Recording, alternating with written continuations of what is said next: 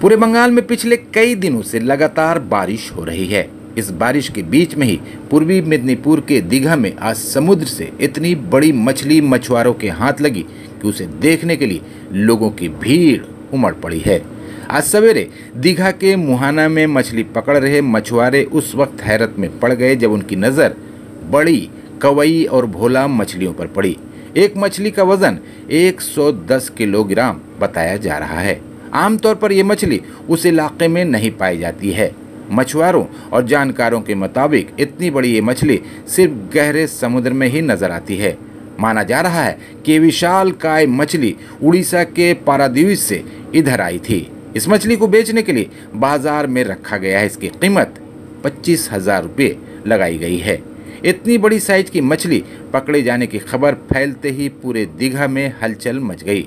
बड़ी तादाद में लोग इस मछली को देखने पहुँचने लगे। चल हमारा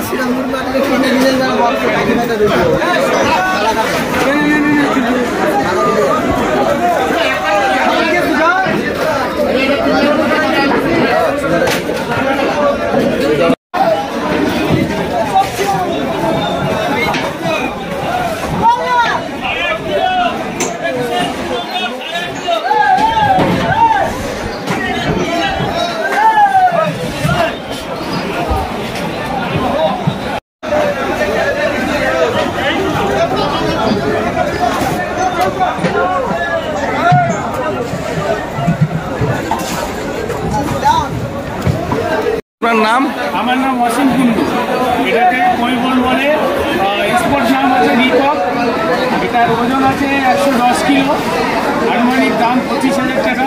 এই ধরনের মাছগুলো আমরাই নিয়ে থাকি বাংলাদেশে এক্সপোর্ট করি। এদেশের লোকেও খায় এখানে। এর মিট খুব ভালো। সচরাচর এটা কোথায় পাওয়া যায়? সচরাচর এটা সাধারণত আমাদের লোকাল বডিতে হয় না। এগুলো পারাদ্বীপ বডিতে হয়। পারাদ্বীপের বেশি ধরে বড় যাদের বড় বডি তারাই ধরে। এগুলো। মানে এগুলো গভীর সমুদ্রেই পাওয়া যায়। এত বড় মাছ কিনারে পাওয়া যায় না এগুলো ডিপে পাওয়া যায় গভীর সমুদ্রে পাওয়া যায়। এগুলো খুব কম ধরা পড়ে। এতদিন এরকম মাছ ধরা পড়েছে? এর আগে আমরা নিয়েছি একশো পঁচাত্তর কিলো ওজনের মাছ। এসছে। তলার নাম বলতে হবে ভুসুলি কাটাতে এসছে ভুসুলি এর আনুমানিক মূল্য কত?